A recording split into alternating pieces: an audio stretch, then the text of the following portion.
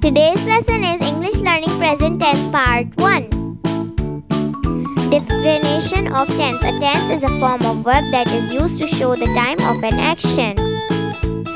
So let's learn present tense. I go to the school.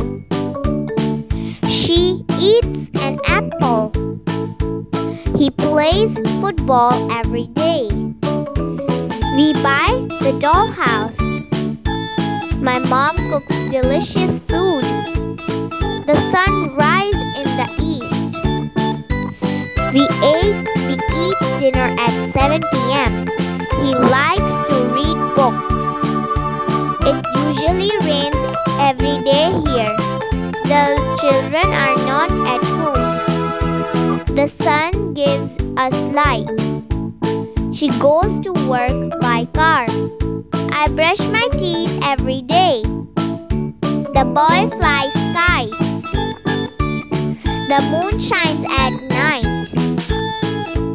The cat sleeps on the couch. Girls sing songs. I wear new clothes. The shoemaker makes shoes.